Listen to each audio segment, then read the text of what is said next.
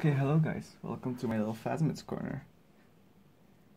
So I had this uh, enclosure laying around that I was going to originally sell on second-hand store, but then I figured, hey,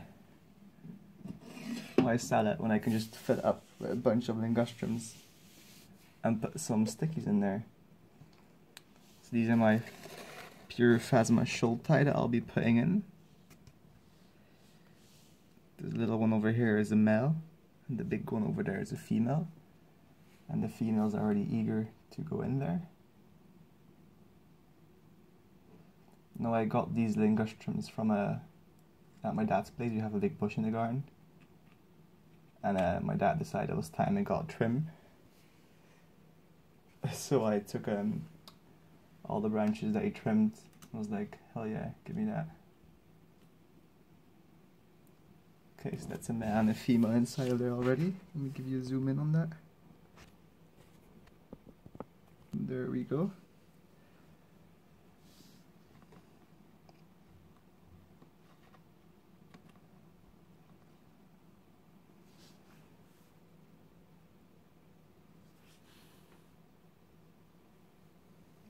Give you some handling. I don't know if you've got a good angle of that.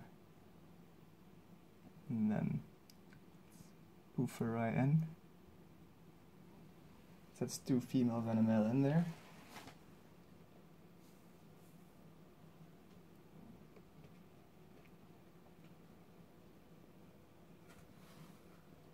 Ooh, I interrupted these two having the sex. So uh, go go in there. I don't know. Okay, they're going everywhere right now. Give me a second. Oh, and she dropped. Yep, literally going everywhere. Okay, we've got this little male here. Go in, be free. Hold free. Oh, do it really. No, no, go in there. No, no, no, no, no. In, in, that way. Yes, good boy. Oh, really? He's going out again.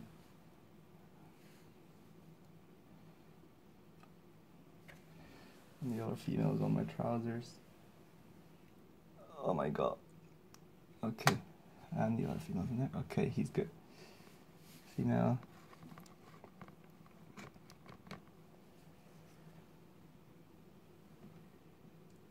Oh, they can really be um, quite stubborn when they want to be.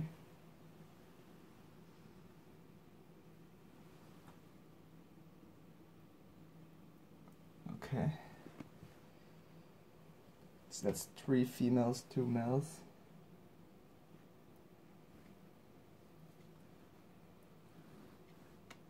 Oh. They can apparently spray acid when threatened, but mine have never done so. And I mean, they should be feeling quite threatened right now, am I right? That's a cool shot of her.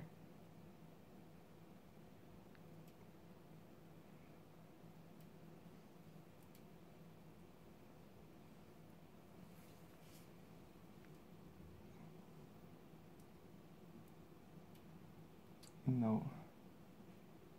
No. Come on, that way. That way.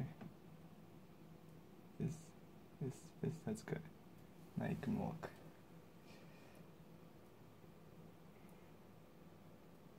And now, sadly, one thing I've noticed with um, cutting these out is this dude doesn't look in too good of a shape. He appears to be dying. But it's to be expected since they were mature when I bought them and they don't live that long. And one of them already died. So this would be the second male to die, leaving two males with four females. So that's really unfortunate. But he's still alive, so I'll I'll poof him in there.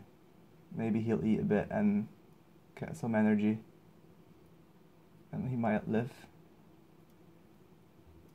But I highly doubt it. Yeah, he's struggling holding on.